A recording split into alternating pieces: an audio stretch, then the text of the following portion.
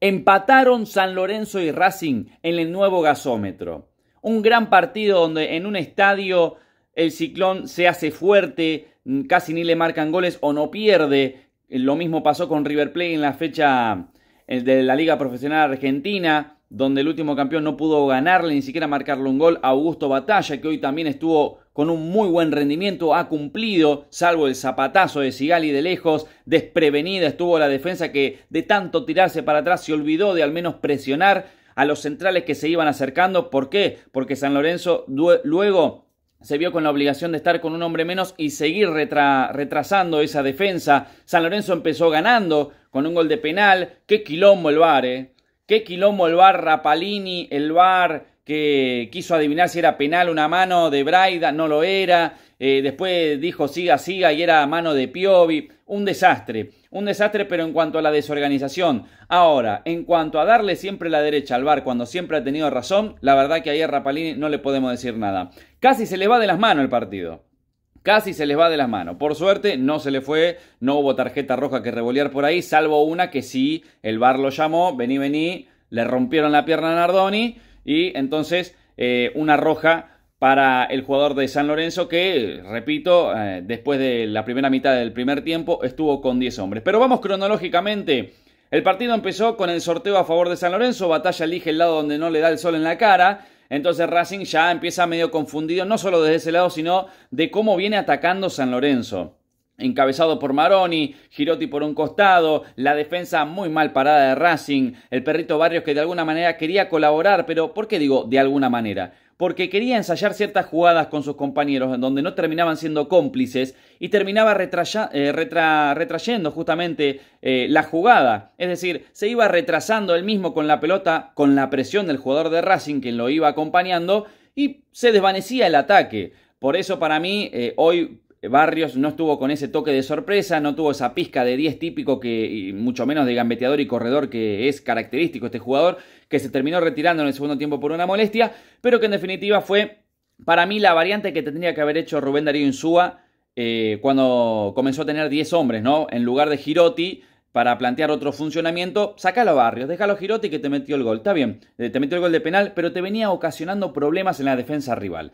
Racing, un quilombo, una murga, eh, un carnaval en la defensa de, la academia, donde volvían muy mal, muy la verdad, muy mal. Sigali, eh, cuando escuchaba que iba a ser la figura del partido, yo digo, pero no vieron el primer tiempo. Para mí no hubo un análisis en general del partido, pero que en definitiva Sigali termina convirtiéndose eh, en la figura ¿no? del encuentro, no solo por el golazo, sino también porque en el segundo tiempo Racing levantó muchísimo eh, su, comportamiento, su actitud en cuanto a afrontar la, eh, la, esta adversidad de la muralla ciclón.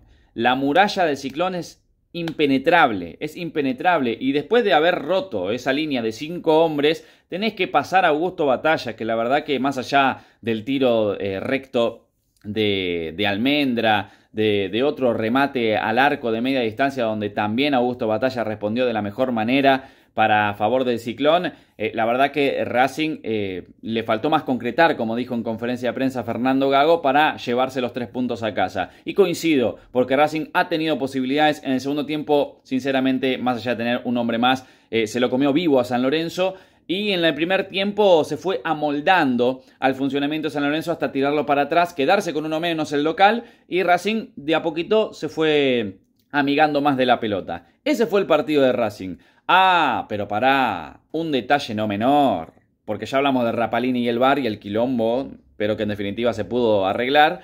Eh, hablamos del abrazo de Sigali con Gago, que eso habla del acompañamiento de los jugadores para Fernando y lo que no hablamos es de Romero. Eh, hay gente que quiere defenderlo, como yo, que me puedo poner en su lugar, puedo eh, nivelarme al 100% la empatía para un jugador, para intentar comprenderlo. O mejor dicho, también uno se quiere poner a la par o en la cabeza de Fernando Gago y decir por qué lo sigue poniendo.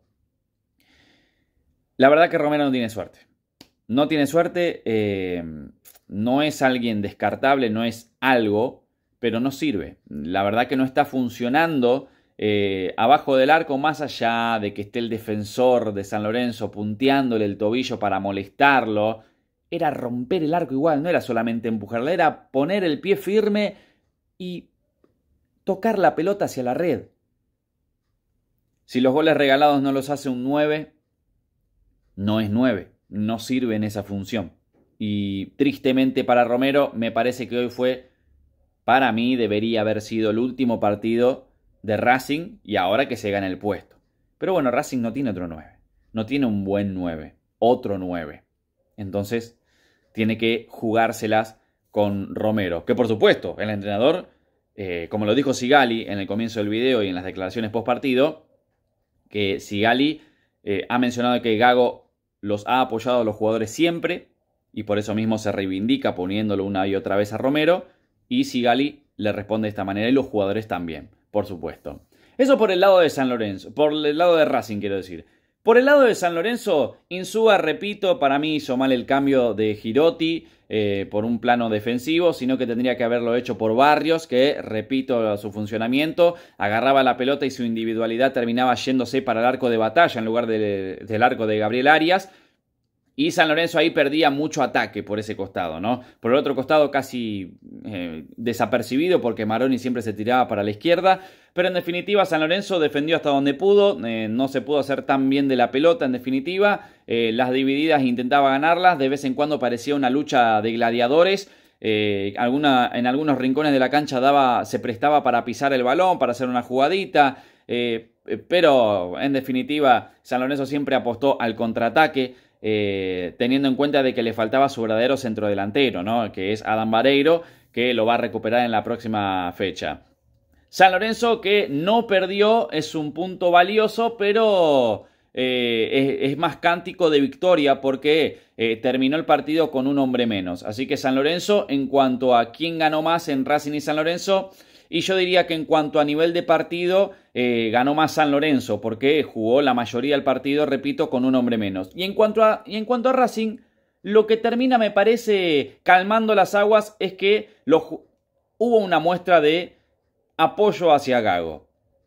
¿No? El abrazo de Sigali a Gago calma totalmente las aguas y por más de que Racing no le haya ganado a San Lorenzo, al menos un punto ha obtenido, eh, aseguran los jugadores, o al menos su capitán, que me parece que habla por el resto de sus jugadores, sus compañeros, que Gago va, tiene el apoyo total de los jugadores. Ahora, ¿qué se hablará de acá a la próxima fecha, que no, no queda nada, eh, sobre los dirigentes?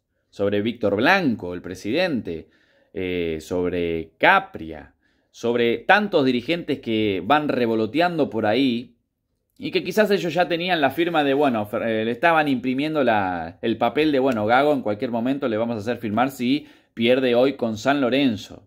Imagínate el clásico de Avellaneda.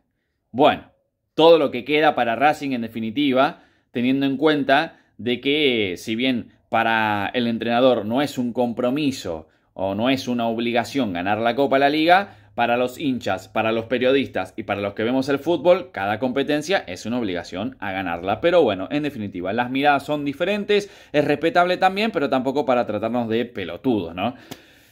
Dejen su pulgar arriba, suscríbete al canal del Tipo La Radio, deja tu comentario, ¿qué opina la gente de San Lorenzo del rendimiento del partido contra Racing y qué opina la gente de la academia con respecto a la situación de Gago, los jugadores que lo apoyan y la dirigencia que parece totalmente invisible, que no aparece en escena, que nadie la nombra y que solamente se habla de Gago, Gago, Gago se va, Gago se queda, los jugadores mantienen esta postura. ¿Qué pasa en Racing? ¿Qué lío hay en Racing ahora de acá a la próxima fecha? ¿Calmó las aguas verdaderamente? Para mí sí.